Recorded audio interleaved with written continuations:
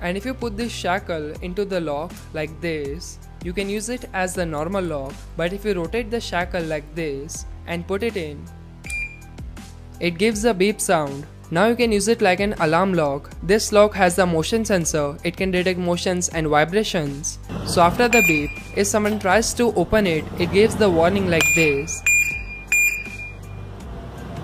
But then also if that person does not stops to open it, it starts the siren.